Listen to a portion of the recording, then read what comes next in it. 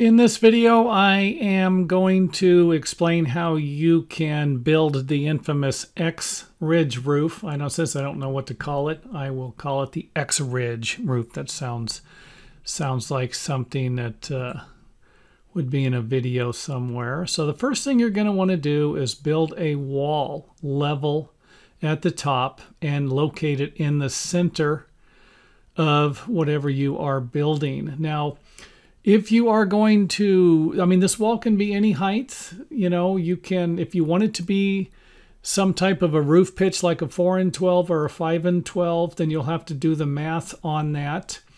And uh, to give you an idea here this is a 20 foot by 20 foot garage so we would half of the span is 10 foot if i wanted it to be a 4 and 12 i would simply multiply the number 4 by half of the span that would divide into 12. And I know that's confusing, but this is basically 10 foot. If I wanted it to be in 4 and 12, this wall would be 40 inches tall. And again, it's going to needs to be in the center. The center of the wall stud here you're going to be using will be in the center. And I'll leave the stud spacing up to you. You want to uh, make a little stronger. Two foot on center would probably be okay. In my example here, they're 32 inches on center and you might need uh, one brace or a couple of braces because you want this wall to be straight and of course uh, try to put the braces in where they will not be in the way of the rafters when you are framing them but again they could always be moved later. Now to keep things simple I am going to nail a block onto the side or screw it onto the side and it could be about an inch, inch and a half down and just simply set the rafter up there. We're going to be using this so that we can just simply mark the bottom seat cut here. You can always use math for that.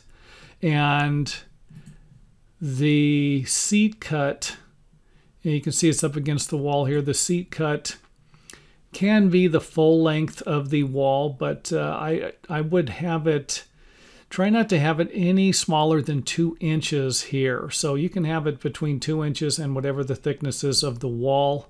If it's a two by six wall, you might not want to go the full five and a half inches. Um, three and a half inches uh, would be uh, sufficient. Here's what it would look like after you marked it. And then uh, double check it by setting it in place to see if it fits.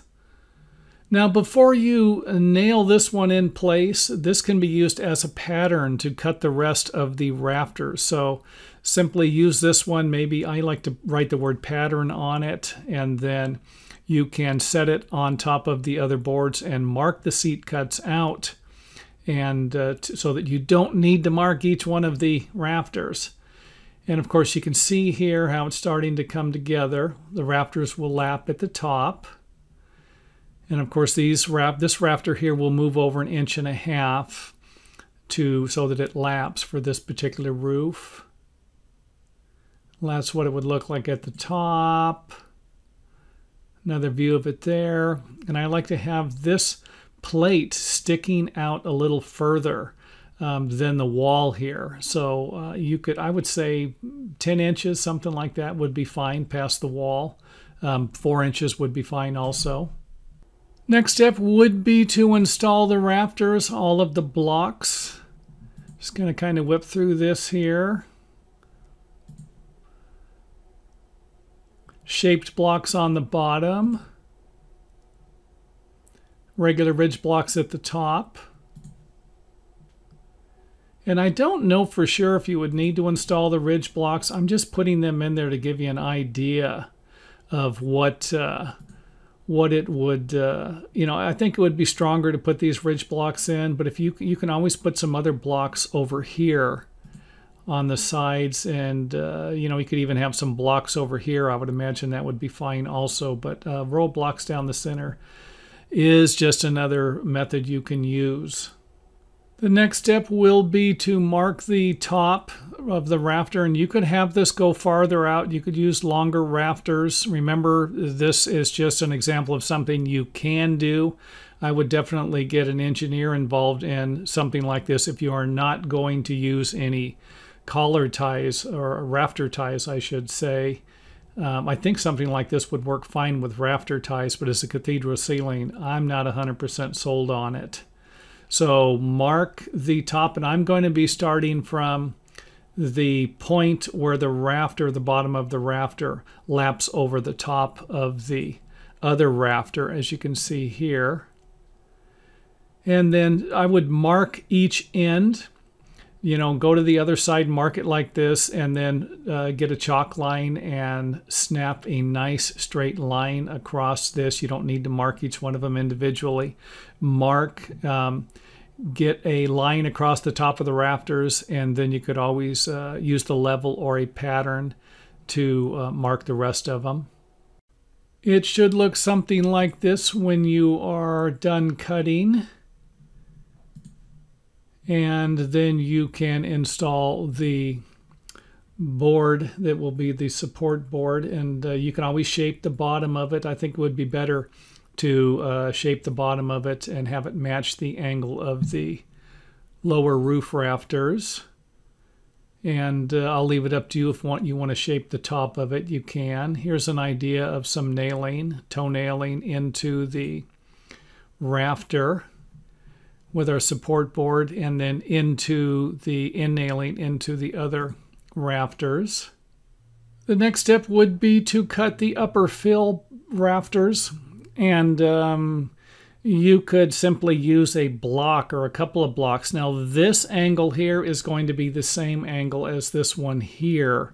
So you could uh, simply mark a couple of scrap boards with your um, with your the pieces you cut off of here, and who knows, maybe the pieces you cut off of these rafters could be used for this for this uh, fill also. So you just need to figure that with the rafters when you purchase them. You could get them a little longer, and then you could mark the center where the top connects then move the line back half the distance of the ridge you're going to be using. So for in our example, we're going to be using a 1 by 8 ridge, and that would need to move back 3 quarters of an inch.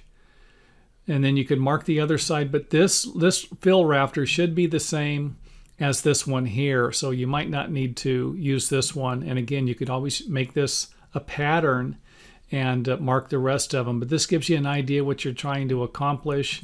We'll go ahead and throw the ridge in. That's what it would look like without all the rest of the fill rafters.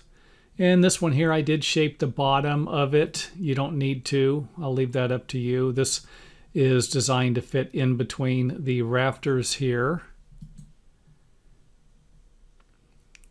And um, the extension here on these boards needs, you can run it a little farther than you need to if you don't know the length of your fascia board. You could always cut these off later. Um, but uh, if not, I like to cut these. I like to have a 12 inch overhang. If I subtract for my inch and a half fascia board, the distance from the face of the rafter or the face of the wall, for example, would be 10 and a half inches. This one here, of course, since this rafter is set back, it would need to be an inch and a half longer. Now with this method, you will need to add a 2x4 to the top here so that when you put your gable studs in, they will line up with it. And of course, you could always use uh, the same uh, board you're using for your rafters uh, if that's going to work out better for you. Again, the idea of this sticking out a little further past. This is just a block that I haven't removed that we used for our original layout to figure out the seat cut on the rafter. Give you an idea of what the what the fill boards would look like. They would just simply sit on top of each rafter and you could nail these into the other rafters and then in nail into these uh, boards that are on the side here. You can nail it into the ridge. You could put toenails in. You could do whatever you want to make it a little stronger without weakening the structure. Sometimes you put too many nails in, it splits the wood, and you have defeated the purpose.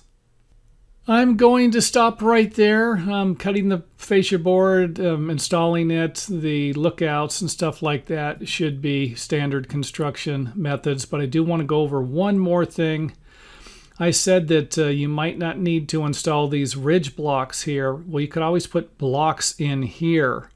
Um, also, just kind of throwing that, throwing another thing in. If you block this, then you might not need to block this area here. So just kind of something to think about. So, but these blocks here are going to be two by four blocks and they are going to be used for the perimeter nailing on the plywood. So a lot of times an engineer is going to want to have perimeter nailing coming around the building on the roof sheathing and we wouldn't have that if we didn't put blocks in. But if you position the blocks correctly, you'd be able to get the perimeter nailing here. And if you nailed it from the bottom with 16 D nails into this board here, you would basically have a transfer, which an engineer would love to see that uh, um, shear transfer on that. So that is it for this video. Hope it helps. And if it does, you know what to do. Hit the old thumbs up button.